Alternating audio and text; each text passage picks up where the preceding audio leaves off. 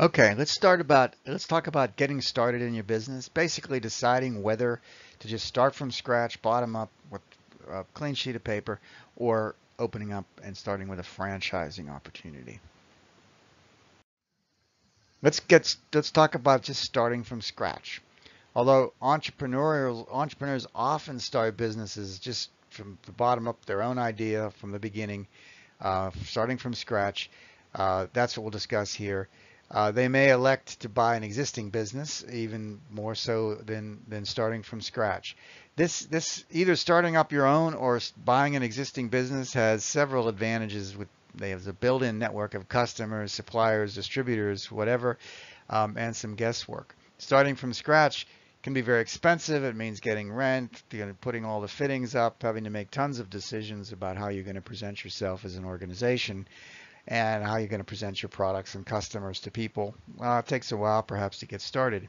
Buying an existing business has the advantages of, uh, as we said, some built-in, a built-in network of some customers, distributors, suppliers. You can make all the changes you want. But essentially, it's an opportunity to start off, hit the ground running with an up and going operation.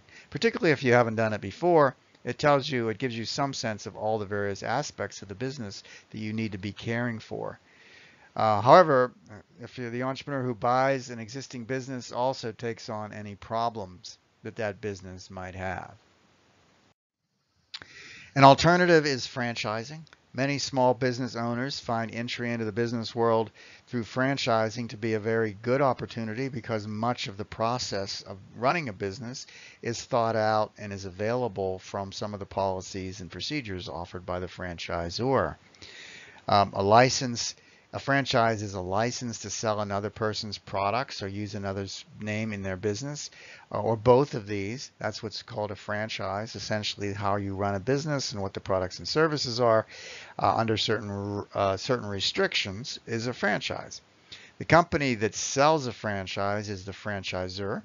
Uh, Dunkin' Donuts, Subway, Jiffy Lube, these are all some well-known franchisors uh, with national visibility.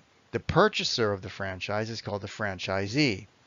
The franchisee acquires the rights to use the name, the logo, methods of operation, national advertising, products, and other elements uh, that the franchisor's business uh, provides in return for a commitment to provide some level of payment to back to the franchisor for the use of their products and services. This is called the franchisor's agreement and it operates according to the franchisor's standard of operations. You have to run the business the way they want you to run the business. You're in charge, but you have to run the business the way they want you to run the business. They're trying to maintain their reputation and their brand. You get from them some of the products and services and whatever, and also descriptions of how to do certain things associated with the business. So it benefits uh, both sides. That's the notion of a franchise, of the franchise agreement. Some of the advantages of franchisers is that uh, it allows you the opportunity to, uh, to start a small business relatively quickly. Uh, it has an association with an established brand. The franchise outlet can reach break-even point much faster oftentimes. Um, and it also has some other advantages like management training and support, brand name appeal, standardized quality, national advertising potentially, financial assistance sometimes, proven products and business formats, centralized buying power because you're working within this larger organization. They help with site selection and territorial protection. You're the only franchise in a certain territory with that brand.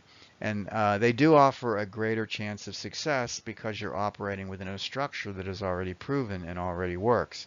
It's harder to make mistakes. Still a lot of mistakes that can be made, but it's harder to make mistakes because people have already, uh, the, the organization has already learned from other people's mistakes. Some of the disadvantages of franchises are that there is a fees. You have to pay for all this stuff you're getting and some profit sharing. Uh, sometimes you have to follow strictly, the strictly adhere to standard operations. Uh, you have to purchase from certain suppliers, usually or often the franchisor who makes money there from those purchases. It's a limited product line. Sometimes you're not allowed to launch other products. You have possible market saturation if there's other franchisor in surrounding territories. Less freedom in the business selections that are being made, um, those kinds of things. Strict uniformity, you have to follow the particular rules of the road for that particular franchise. Uh, entrepreneurs who want to be their own bosses come, sometimes can get frustrated by having to operate according to the restrictions and the rules of the franchisor. Here's some examples of some of the biggest and fastest growing franchises that in different areas, uh, anywhere from restaurants to tax services, uh, jazzercise clinics, uh, those kinds of things, different kinds of franchisers that you might um, it, it might, might, identify. And you can see that these uh, some of them have been around a long time, some of them are new.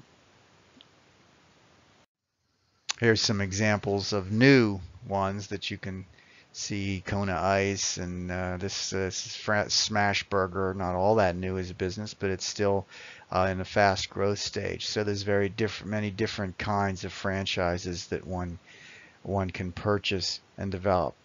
Uh, the, fran- the concept of franchising grew especially rapidly during the 1960s when it expanded to diverse industries, and you can see uh, some of these uh, these these uh, these franchises are quite interesting.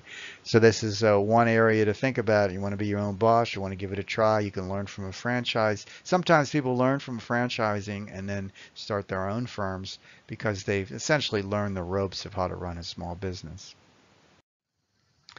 There's also help for small business managers. Uh, it's it's such a, cruel, a crucial role in the economy the, uh, that the U.S. government has offered has some organizations to help uh, small business owners' ability to compete. These include entrepreneurial training programs and programs sponsored by the Small Business Administration. They provide small business owners with invaluable assistance in managing their enterprises. Uh, they offer they're little they serve at little at no cost because uh, there's benefits to all to support entrepreneurs and entrepreneurial success. You can learn marketing, management, finance skills. There's college courses associated with that and how to do that, how to how to build these skills, uh, help build business judgment. Then there are national publications that are also extremely helpful, like Inc. magazine, Entrepreneur magazine. They can share statistics and the like that can help. Small Business Administration is one really good place to go among the many uh, programs they have is the SB, SBA funds. They fund small business development centers around in various universities and other settings that can help business owners. There's clinics uh, where people can talk about their business uh, ideas and their business plans and get support. Uh, there's a service of Service Corps of retired executives called SCORE which people that have run businesses before are around to help get people up and running in their small businesses. Uh, various kinds of chambers and chambers of commerce, small business institutes um, around that are helping people uh, to get their businesses up and running. And of course, the local, um, the U.S. and local departments of commerce and chambers of commerce in various communities are also helpful in getting businesses up and running. And of course, people often like to help other small businesses uh, succeed because when the small business community is healthy within um, a local economy, the uh, there tends to be a lot of foot traffic and a lot of things that are that uh, causes a dynamic community. And so there's a lot of uh, individual help among businesses. You want to be networking uh, within the business communities where, where you work and where you open your business. In the next lecture, we'll talk about some of the new trends, trends in business formation, uh, things to be looking at and to consider.